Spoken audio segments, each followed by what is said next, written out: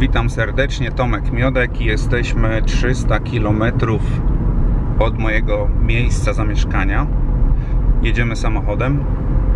Odwiedzałem pasiekę hodowlaną Apis Jowita. Mam pszczołę. Zabrałem od nich pszczołę.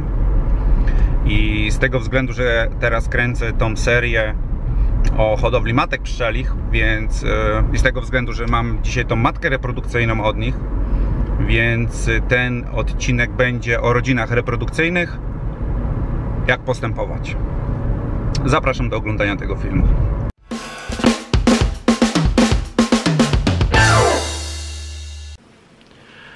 Ok. Wróciliśmy na miejsce i teraz musimy przygotować e, do poddania tą rodzinę. Teraz ja wcześniej nie oglądałem, dopiero teraz sobie na to patrzę. Tu są jakieś numery, certyfikaty i tak dalej. W takiej klateczce chyba Nikota. Jakby ktoś chciał z tej pasieki kupić sobie taką pszczołę, to mi się wydaje, że teraz jest najlepszy moment na zamówienie takiej pszczoły, żeby zamówić ją w następnym roku, bo to są pszczoły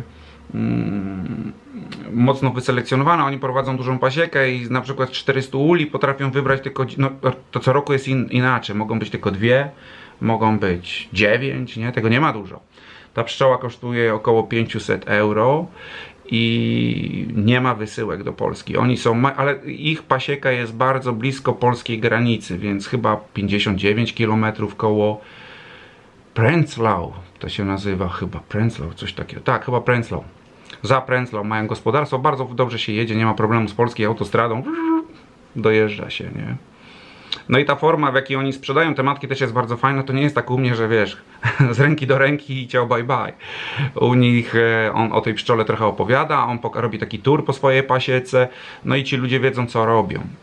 A dlaczego ja kupuję, bo ktoś tam mi tam napisał, dlaczego ja ich wybrałem i tak dalej, tam jak wczoraj rzuciłem sobie jak zrzuciłem zdjęcie pod na Facebooka i tam ktoś mi napisał, dlaczego ja wybrałem. No ja z tą pasieką już współpracuję kilka lat i wiem, jakie oni mają podejście i tam te certyfikaty, co oni dają, bo on zawsze próbuje mnie w to, w to, w to yy, Romuals, on próbuje mnie y, wtajemniczyć w te certyfikaty, ale to i tak ja na to nigdy nie zwracam, bo dla mnie jest najważniejsze, że na przykład po dwóch latach dzwoni do mnie jakiś klient i mówi, słuchaj, tam dwa lata temu sprzedałeś pszczołę mojemu kumplowi z taką opalitką, bla bla bla, ja wiem o co chodzi. I on mówi, ja chcę ją mieć. Nie? Jak ma, ja mam kilka takich telefonów, to znaczy, że, że to jest dobra pszczoła. Oni nie wysyłają, trzeba jechać e, osobiście, bo ktoś się nie bał i zadzwonił. Ale tylko puścił szczałę. No i bardzo dobrze. Bo oni mają złe doświadczenie z wysyłaniem do Polski. I dlatego trzeba jechać osobiście. No dobra, ale teraz musimy ją poddać. Dzisiaj jest poniedziałek. W czwartek, co ja zrobiłem, tą rodzinę, którą ja wyznaczyłem e, na osadzenie tej rodziny, to wiadomo, to logistyka jest bardzo ważna, bo to jest matka reprodukcyjna, więc ja ją chcę mieć gdzieś tutaj koło tego domku. To nie może być gdzieś tam, że ja nie będę chodził, bo to po prostu zachodzę się. I tak e, dużo robię kilometrów u siebie po pasiece, więcej już nie potrzebuję ale generalnie jeżeli chodzi i teraz co ja zrobię i ta matka od czwartku, czyli czwartek, tu jest piątek, sobota, niedziela i dzisiaj jest poniedziałek, tak? Powiedzmy 4 dni siedzi w klateczce, nie? Więc co tam e, się dzieje? E, ona jest, siedzi w tej sobie klateczce, pszczoły ją karmią tam dookoła tej klateczki, pszczoły się kapują, że coś jest nie tak, bo ona nie składa jajek, bo jest jakby zaizolowana. I co tam się dzieje, ale tam do, dookoła tej klateczki wytworzyła się taka atmosfera i, in, i są karmicielki, które karmią i dbają, nie? O tą matkę, o tamtą starą. I teraz co my tylko zrobimy, bo to, tak jak mówiłem, ta matka ma ponad rok, więc takie matki się pod, poddaje troszeczkę gorzej. My teraz co ja zrobię? Podmienię do tej samej klateczki wsadzę tą matkę, a stamtąd zrobię odkład. Zapraszam do oglądania. Jak zwykle mi zgas, sypię garść trocin. Trochę trudno, nikt mi nie pomaga. Słońce jest tamtym, to muszę tu postawić kamerę, żeby było dobrze. Tak postawię i otworzę ten ul. Proszę zobaczyć nie? Tu w tej klateczce jest ta stara matka od czwartku jest tutaj zaizolowana. Podnosimy tak.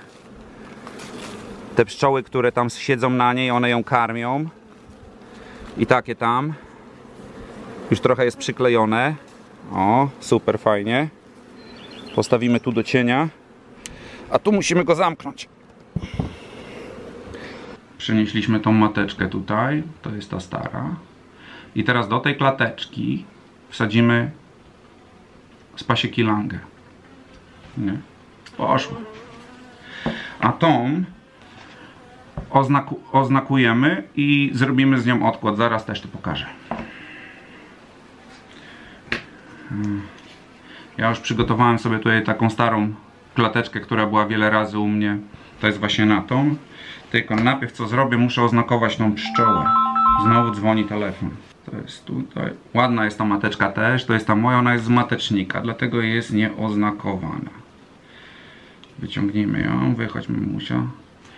Jeżeli chodzi o pszczoły, nigdy nie starajmy się ich łapać, czy takich, żeby próbować jakoś wymuszać ich kierunek. Po prostu on, czekamy zawsze, jak on, ona musi sama sobie iść w to miejsce i spokojnie, ona sama wchodzi. Wchodzi, wlazła do środka, zasuwamy i mamy starą mamusię tutaj. A teraz do tej klateczki, w której ona była, wsadzimy pszczołę z pasieki Lange. Ja tu może jakoś kurczę zrobię, żeby mnie nie było widać, a żeby było widać więcej, więcej, nie? Ja zamknę drzwi. Zamknąłem drzwi tylko dlatego, bo ja, ona może być lotna z jakiegoś powodu, ja mogę o tym nie wiedzieć, nie wiem ile ona była w tej klateczce, ale na przykład jak nam takie przychodzą, przylatują skądś i one są w podróży, to musimy brać to pod uwagę, że takie matki mogą być ze względu na to gorsze jedzenie w tych klateczce, nie? I one mogą po prostu lekko schudnąć i mogą się zrobić lotne. I to może nas zaskoczyć, że taka matka może wylecieć. Można to też ocenić po wyglądzie po prostu takiej matki. I dlatego najlepiej jak ktoś zrobić to w samochodzie albo gdzieś w tam miejscu, żeby ona mm, sobie nie poleciała. A teraz zobaczymy.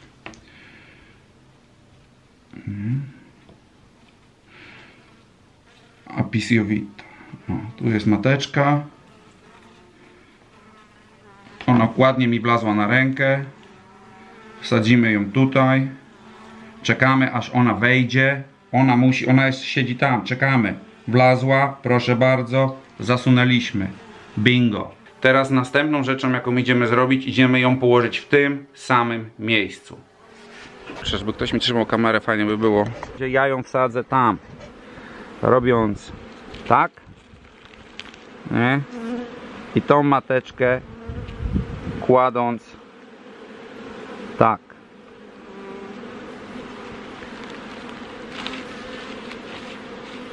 Jeszcze chciałem tylko zwrócić jedną uwagę, że ten ul jest na raz, dwa, trzy, nie? Trzy korpusy. I teraz mi została ta mateczka, ale będę chciał ją sobie oznakować, bo ona jest z matecznika, jest nieoznakowana, więc znakujemy. Widać tu? Widać. Linijka. Tu mam klej do opelitek. Robię kropeleczkę. Nałożymy jej białą opalitkę, choć ona jest z zeszłego roku, ale to nie ma znaczenia, ja ją chcę tylko widzieć.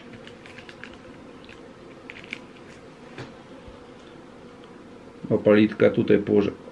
O, numer. Jaki to jest numer? 200, 200. Wyciągniemy naszą mateczkę.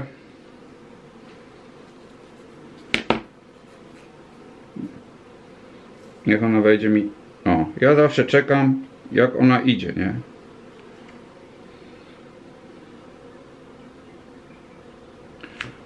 Trochę kleju. Kleju nie za mało. Nie za dużo. Dwusetka. Trzeba polizać, nie?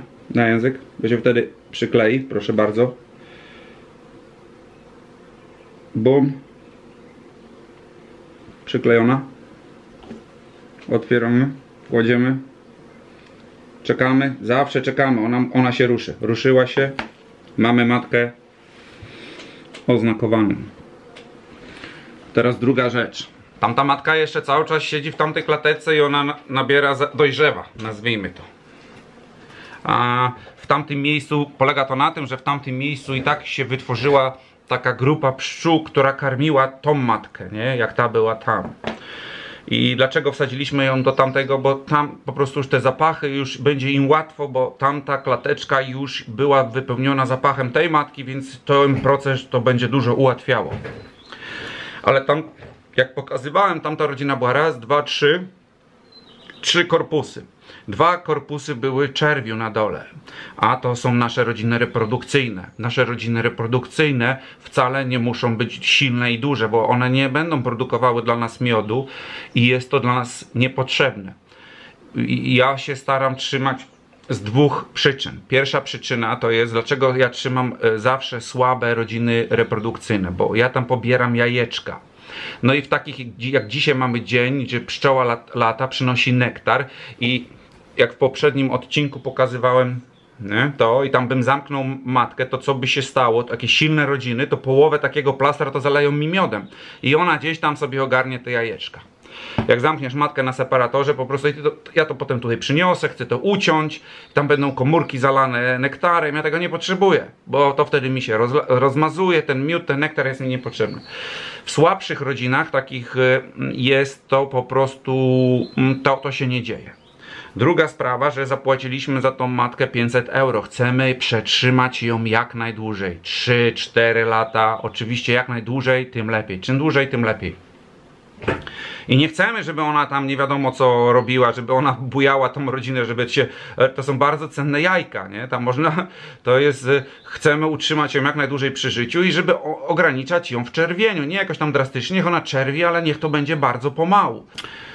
Oznaczyliśmy tą mateczkę, wsadziłem ją w klatkę, tylko dlatego, że te pszczoły, mimo wszystko, one się coś pokapowały, że jest nie tak, no bo ona od 5, od 4, od 5 dni nie czerwi, więc tam nie ma e, jajek, a te jajka to jeszcze nic nie mówią, ale to musi być ten, e, ten czerw, który karmicielki się na niego rzucają i go karmią i tam nie ma już tej harmonii, to już zostało jakby e, zatrzymane, no i te pszczoły się w jakiś teraz sensie, one kapują, że coś jest nie tak, one czują, że ta matka jest tam w tej klateczce, ale to wiedzą i one teraz prawdopodobnie już tam na tamtych kombinują jakieś e, mateczniki. Ale tą oznakowałem klejem i to, to takie jest od razu, więc ona mogłaby być też okłębiona. To nie powiedziane jest, żeby była okłębiona, ale może mogła może by ją okłębiły. Dlatego e, przez ciasto ją po prostu podaję. Zrobię teraz odkład, czyli ten dolny korpus, nie ten, bo tam są raz, dwa, trzy korpusy. E, ten na tym środkowym, na tym takim gapie, gdzie tam brakowało ramek, tam leża, leży teraz, e, ona tam była, a teraz leży od Jowity matka. I teraz ja ten dolny, który leży na dennicy, przyniosę zupełnie inne miejsce, tą im wsadzę, i ona będzie musiała tutaj sobie zacząć następną historię. Idziemy to teraz zrobić, ale zaraz wrócimy dalej, będziemy rozmawiać. Daleko nie będziemy szli, tu sobie przygotowałem taką miejscówkę dla nich. Nie? Mam de- zdezynfekowaną dennicę, plus e, wypaliłem przed wiką korpus i te pszczoły, ten dolny korpus. Podejdziemy. Ten korpus nie, na nim też jest czerw, ja wiem o tym, że tam jest czerw. Postawię go tutaj, zamknę, dam im ciasto, na górze postawię matkę i zobaczcie jak to będzie wyglądało.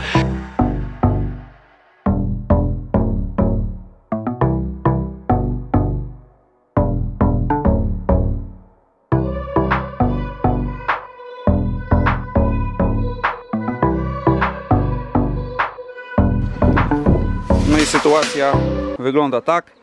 On jest pełen pszczół i tutaj z góry widać to jest jeszcze więc on ma dużą szansę na bujnięcie się. A to jest jego miejscówka, jest jeszcze zamknięta.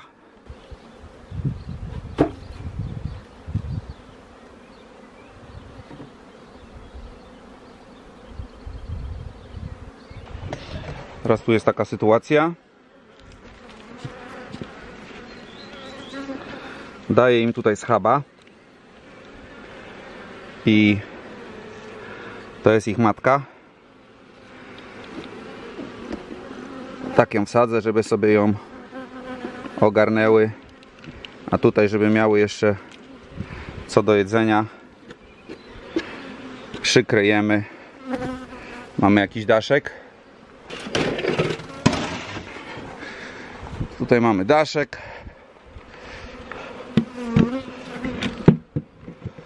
Upewnijmy się, że się nic nie buja. Że wszędzie mamy szczelnie. Pszczoły są zamknięte. Wlotek jest zalistwowany. Wiadomo, bo ta pszczoła stąd będzie wylatywała, będzie wracała tam, a tego nie chcemy. I tak mają co jeść. E, dam im jeszcze jakiegoś syropu dzisiaj wieczorem. Niech one na razie sobie ogarną z tą matką. A my idziemy dalej. Co my tutaj zrobiliśmy? E, wyciągnęliśmy e, starą matkę. Podmieniliśmy ją w klateczkach. Tą nową matkę od Apis Jovita wsadziliśmy do tej starej klateczki. Zrobiłem to tylko dlatego, bo e, w tym miejscu, gdzie ta klateczka leżała, jest, już się wytworzyła pewna grupa karmicielek. I, I ja ją położyłem w tym samym miejscu, nie?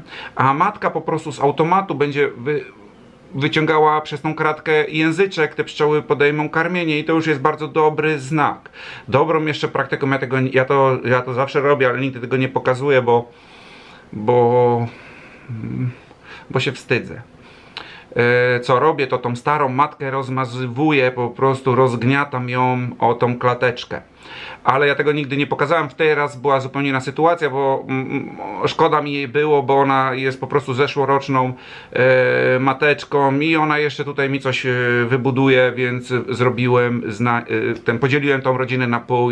Jeżeli chodzi o tą matkę z Apis Jovita, to Mm, co ja będę tam jeszcze robił, bo e, tam troszeczkę jeszcze poczekam. Ja się wcale nie spieszę, żeby ją odbezpieczyć. E, ona niech trochę przejdzie, te karmicielki niech zaczną karmić tą matkę, niech ona przejdzie troszeczkę na e, pokarm z tego ula i to już jest bardzo duży sukces.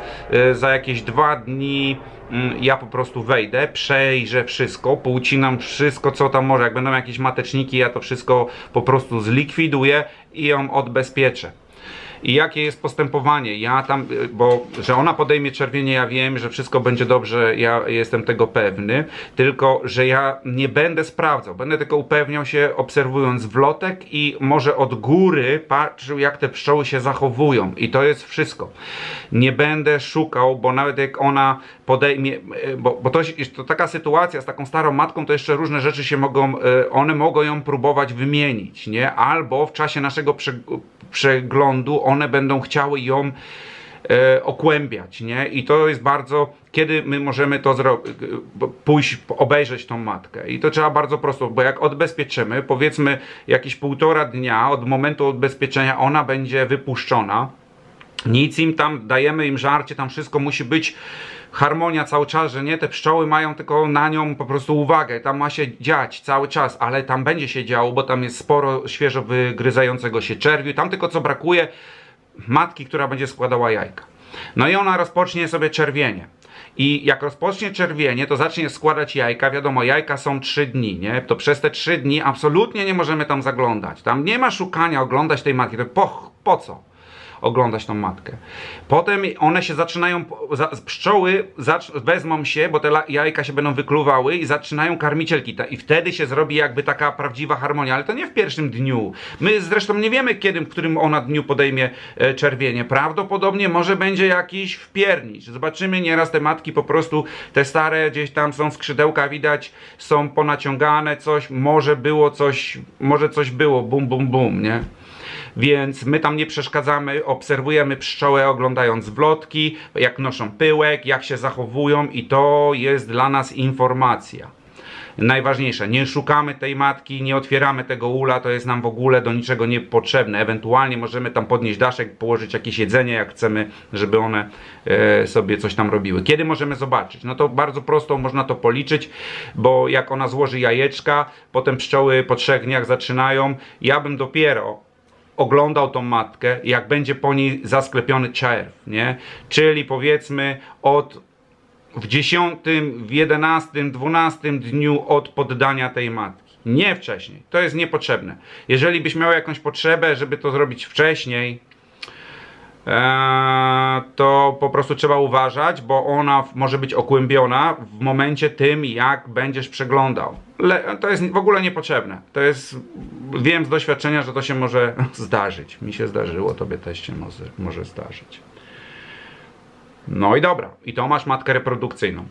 Jeżeli tak mm, utrzymanie takiej rodziny, bo widać, ja tą, ona była za silna, bo była na dwóch korpusach, podzieliłem to wszystko na dwie części, bo mi nie zależy, żeby ta rodzina była silna. Ja będę tą, ta, tam jest bardzo dużo czerwiu w tym górnym korpusie, więc ja jeszcze będę cały czas to rozładowywał. Po prostu na potrzeby tu moich starterów będę zabierał ramki. Nie teraz, mówię, za 12 dni będę okradał, będę osłabiał, osłabiał.